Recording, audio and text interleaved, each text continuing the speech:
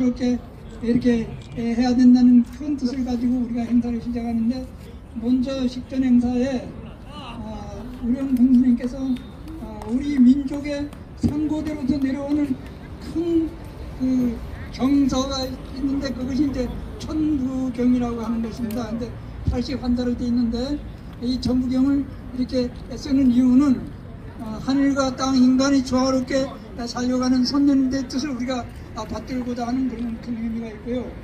아, 오늘 이, 이 행사 시작에 이 좀 인원은 얼마 안, 됩니, 안 됩니다만 아,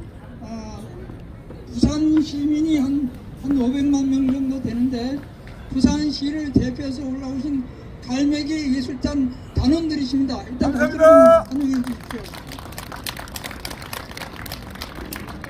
어제 밤 늦게 요즘 그 기차표 구하기가 대단히 어렵습니다. 그런데도 이 행사를 위해서 어, 시간을 쪼개서 큰 기원의 마음을 가지고 어, 제 밤에 올라오셔서 이 행사장을 돌아보시고 오늘 아침에 이렇게 스님과 함께 어, 인사동에다가 큰 기운을 넣어주신 그런 풍물단입니다.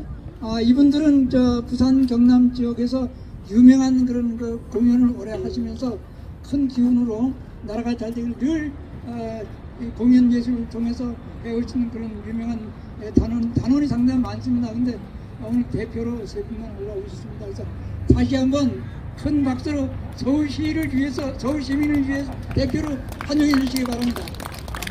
아, 그리고 올라